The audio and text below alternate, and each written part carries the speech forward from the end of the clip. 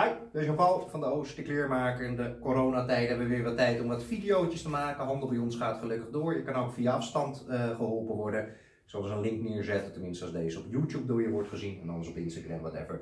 Um, kort maar krachtig. Wat we heel vaak hebben zijn klanten die normaliter nooit een pak dragen.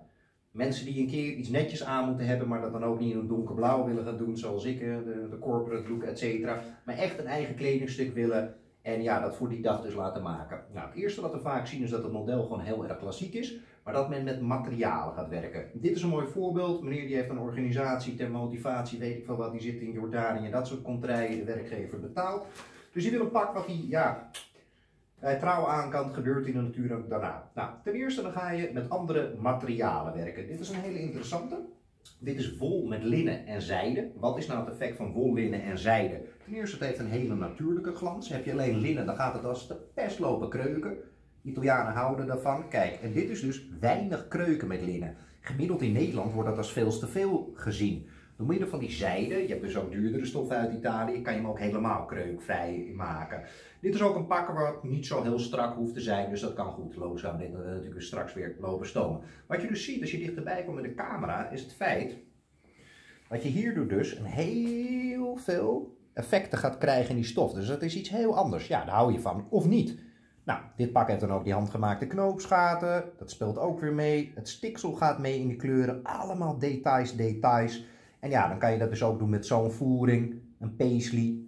En dan krijg je nog meer effect erin, nog meer impact. Dat is echt mijn persoonlijke specialisatie om je daarmee te helpen. Dat heb ik geleerd uit allerlei boeken met biologie en dat soort zaken.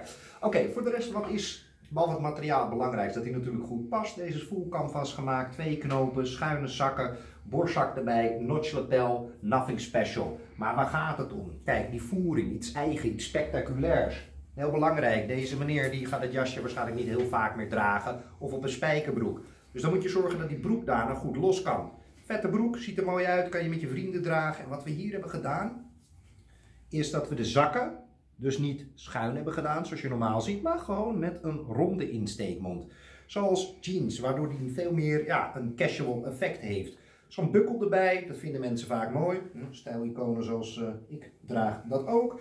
Deze heeft ook weer knoopjes in het kruis zitten. Dan zie je hier ook de details, kom je de camera hier. Dan zie je hier dat deze juist weer net paars is gedaan. Net weer dat effect, net zoals de Italianen, et cetera. Die doen even wat minder op dit moment. Nou, je zag het misschien net al vallen. Ups, het allerbelangrijkst. Er zijn ook twee zoontjes aanwezig. En ja, dat is natuurlijk ook, de vrouwen moeten content zijn en die dag. Tenminste ervan uitgaan dat hij met de vrouw trouwt, dat doet deze meneer. Dus we hebben ook mini bowties gemaakt. Gewoon van de stof van papa's pak. Gewoon een cadeautje, doen we er gratis bij. En ja, een boottuig hoor je natuurlijk normaliter zelf te strikken. Dat kan met deze stof niet. En daarbij peuters, kleuters, baby's kunnen dat niet. Dus dat doe je gewoon met een haakje. Sommigen doen het op hun hoofd, sommigen eten ze op en poepen ze uit. Het kan allemaal. Dus dit is een trouwpak, helemaal eigen, gemaakt voor iemand die normaal nooit een pak draagt.